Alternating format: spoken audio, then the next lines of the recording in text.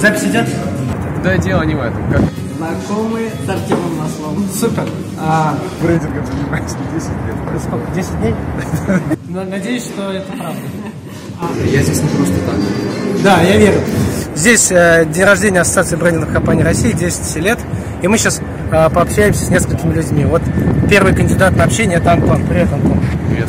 Расскажи, с какого ты агентства? Прям. А, агентство Андреева был в Нижний Новгород. А, Слушай, а скажи мне, а, за прошедший год какой проект в брендинге российском ты считаешь самым знаковым? Ну, по любой оценке, там, будь, будь то бюджет, визуальная оригинальность. Все, все первое, что в голову. приходит. Как раз Сернурский э, это, ну, там, А, там, это иди- я знаю даже, кто это делал. Да. Волгоград, по- супермаркет. это, это очень интересная история вообще с той точки зрения, как Крупно, когда там написано это. Да, дело не в этом. Как, как, как, сам завод, потому что еще там год назад, там полтора года назад, они ужасно.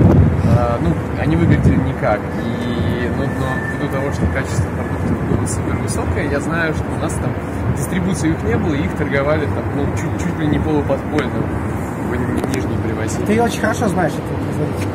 Э, Не очень хорошо, просто я там, ну, как бы следил, видел, как, есть как это Для происходит. тебя он знаковый не сколько с точки зрения бренда. Именно. И ну, самая яркая история это даже не сколько ребрендинг всего вот этого Сернурского завода, сколько а, их история с маслом «Спасибо», Да, которая- да, да. которая теперь... Это находится- их же, да? Я Да, просто- наверное,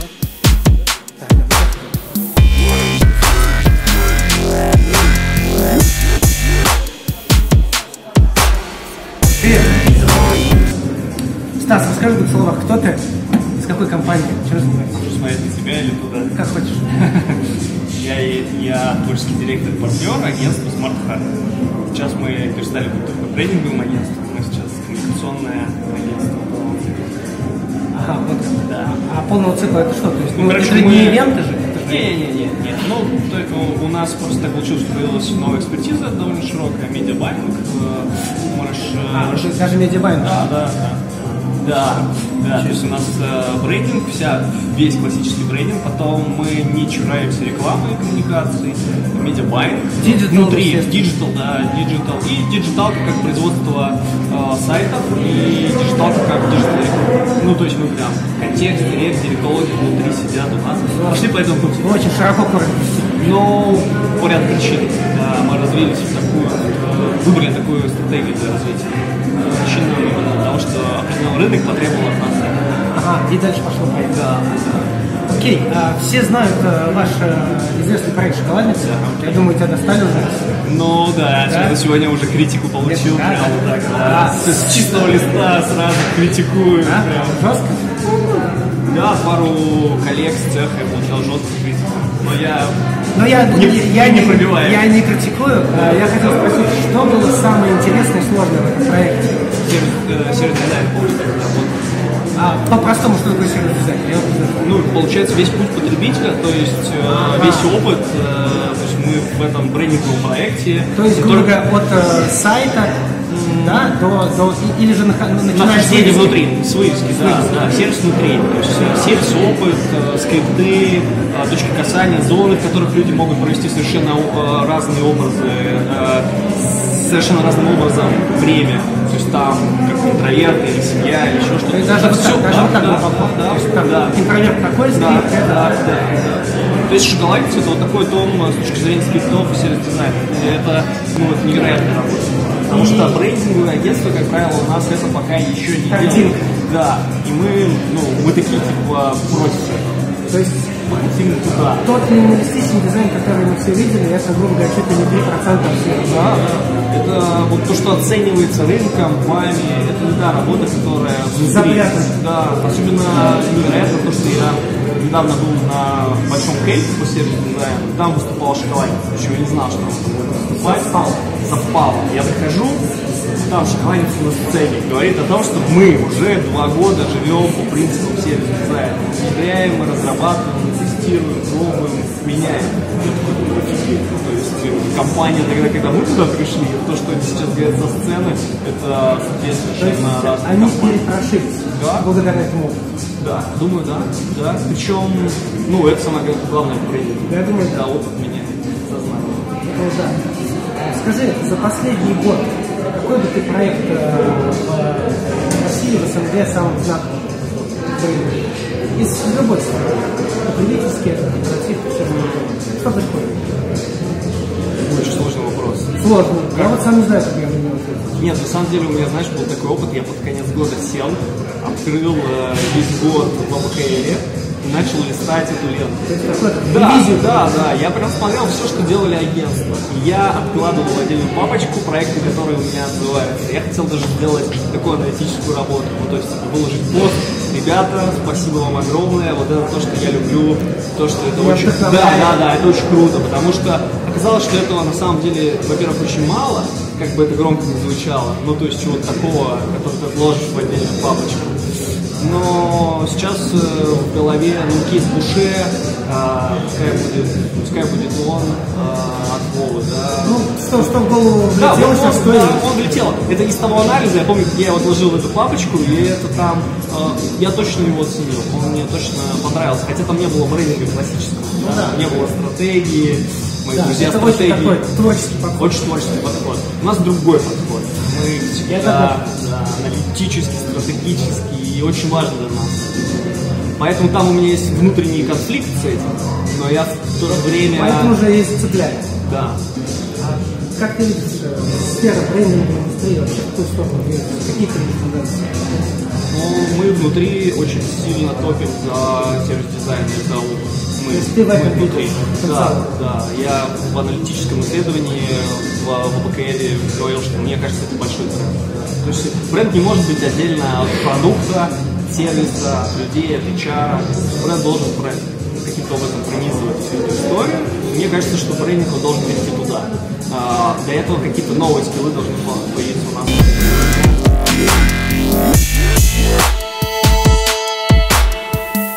Уж давно.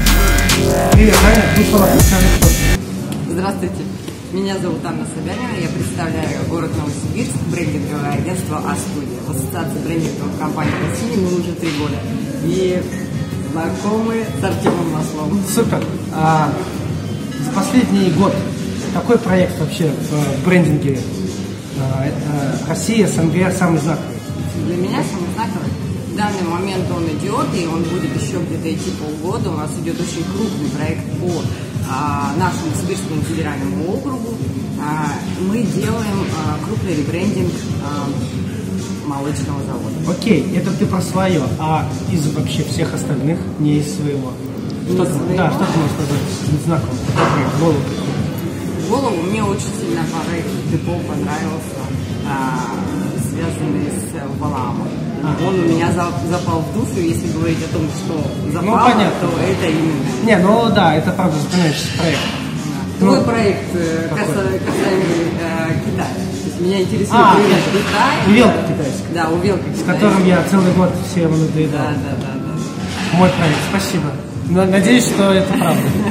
А вообще ты э, видишь э, тенденцию брендинга России, СНГ какую? Что, что ты видишь там? Бюджеты растут, падают, там более там квалифицированно относятся, больше. Отрасли? Ну да, вообще, вот видишь, куда отрасль движется? Отрасль развивается, и тренд на брендинг идет очень активно. Буквально а, три дня назад мы были в Барнауле и были очень сильно удивлены тем, что у нас брендинговых агентств становится все больше.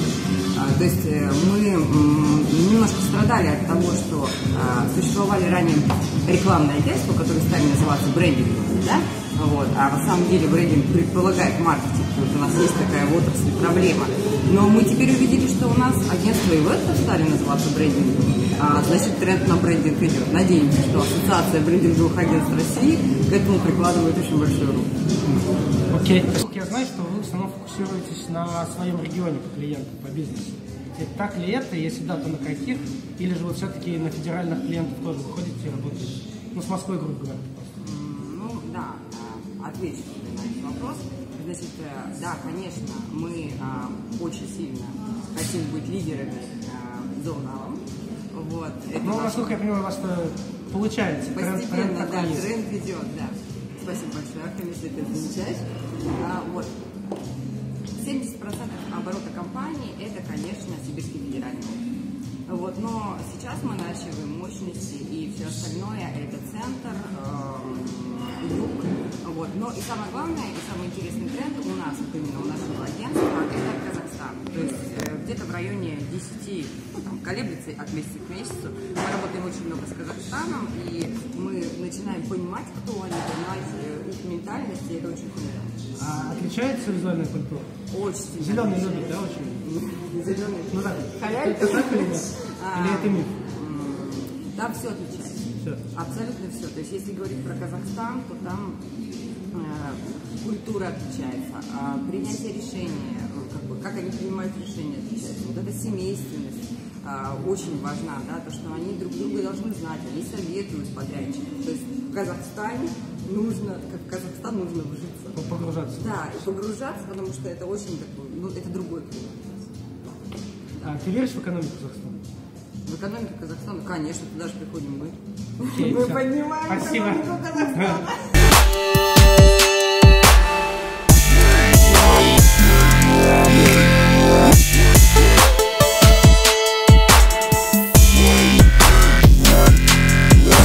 А, Саша, в двух словах, где работаешь?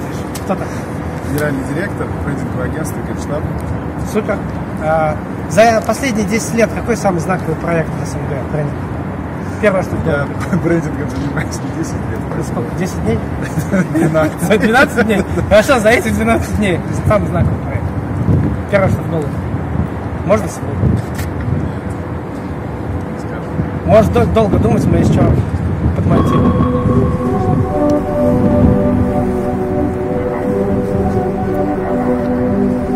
В упаковке, в идентике. За 10 лет? Ну, за 10 лет, за год. Что, время? за год? Ничего такого вкусного, что. Ничего нет. То есть все как Все, вот, все в вся рамках нормы. одинаковая. Все, все, нет, ну то, что не то, что одинаково. Я такого не выделю, что вау. Окей. Она россиянская. А- Ты же россиянский?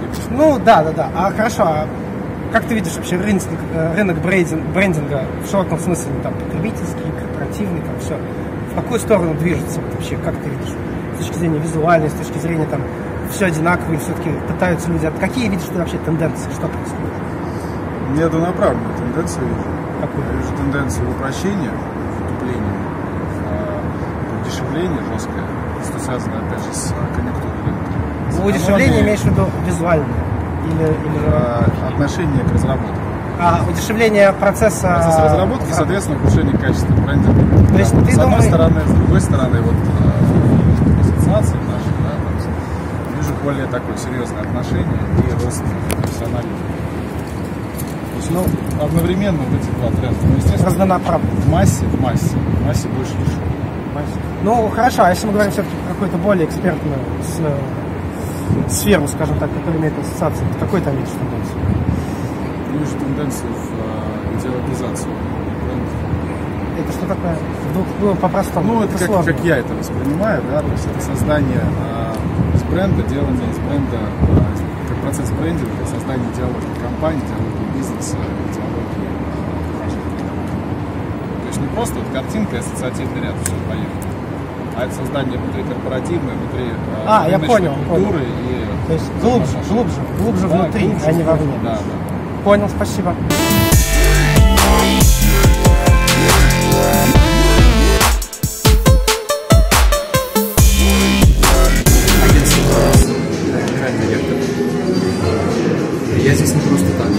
Да, я верю.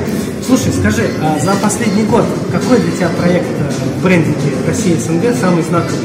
С любой точки зрения. Что вспоминается первое? А, вспоминается почему-то первое не молоко. Не молоко. А это в прошедшем году было или это было Это был, это был как раз прошедший год, они 18. запустились, да. А, для меня это такой а, проект, который открывает категории, такие локомотивы. Это достаточно непростая всегда история. И когда я смотрел на этот успех, то есть всему я так попробовал продукт, он интересный. Ну, хороший да, продукт. я вижу, что все у них сложилось очень как-то э, единый такой, такой концепт из продукта, продукта, и с точки зрения трендов на рынке. Да, в индустрии? Как ты куда развивается? Все развивается а, в понимании смысла бренда. То есть если раньше люди а, мыслили картинками, Хотелось поиграть в это да, да, да, люди учились, наши клиенты учились рисовать. С нашими руками да, часто. Дизайнеры. Вот, и теперь они понимают, что с точки э, зрения дизайна не всегда получается. А Работа на уровне концепции. И теперь они не удивляются, когда мы говорим, давайте все-таки падаем большую Пока очень большая часть проектного проекта, две трети. Конечно.